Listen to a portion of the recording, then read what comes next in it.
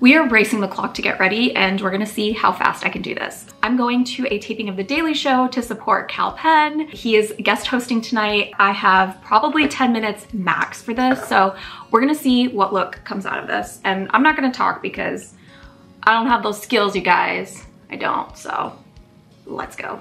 Hi everyone, I'm Nina Davuluri and welcome to the Complexion Diaries. I realized as I started doing this look, I'm like, this is actually my timeless makeup look. Like, this is truly, it's one of those flawless, timeless looks that will stand the test of any makeup trend because makeup, like fashion, is always trending, but there are certain things in makeup world that will last and stay forever.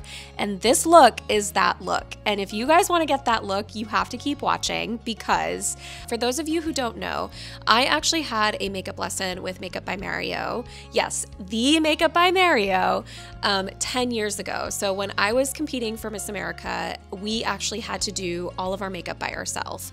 And so I wanted to find someone who could give me a makeup lesson. And this was Makeup by Mario before he was Makeup by Mario. He had just done Kim Kardashian's first wedding, which is crazy to Kris Humphries. Do we remember that era? Um, in 2013. And that was the year I had worked with him. And so I had contacted him and he had said he actually started in pageants, and so he was willing to do a lesson with me, and I had worked with him. But you can see the contour technique I'm doing here is exactly what I learned from him. I do my makeup the exact same way with all of his techniques because he is amazing and he is truly like one of the iconic artists of our generation.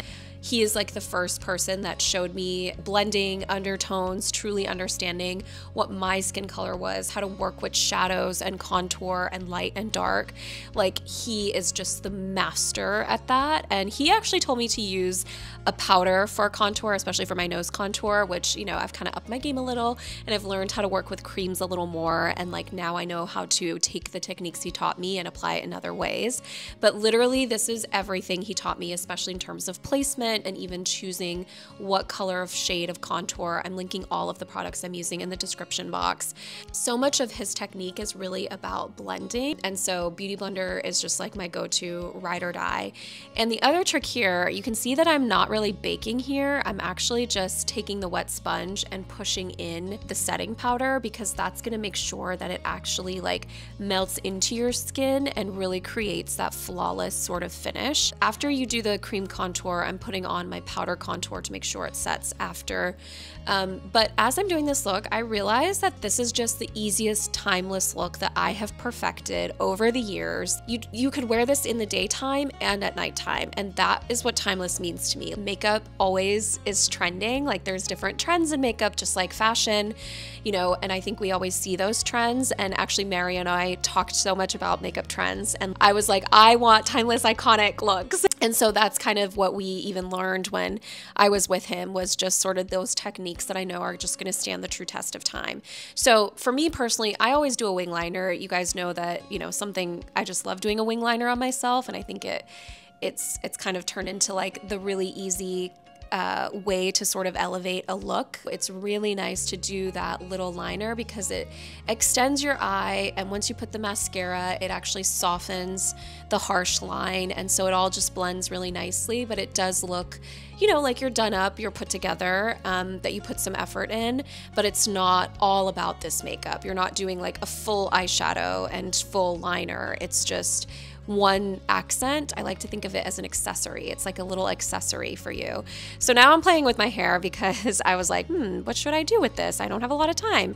And you know what? Again, this is just an easy half up, half down, you're never gonna go wrong with. This is always my go to. Like, I don't care what year it is, you can always do a half up, half down hairstyle. Um, and it, you just know that it's gonna be timeless and classic. Um, I feel like 90s is kind of a little more back now. Um, so, I, of course, I left the little piece of my hair in front. But, you know, there were times where you would just put all of it back and that was the trend. Or, you know, you take like a middle part or a side part, like half up, half down.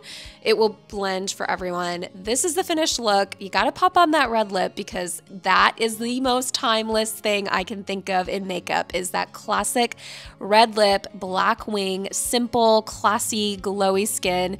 This is the final look. What do we think? Do you think this was timeless? Like I said, it stands the test of time. It's super easy. It just looks great on everyone. So let me know if you try this technique and what we think. Yes, I made it to the Daily Show, and that was great. Thanks so much for watching.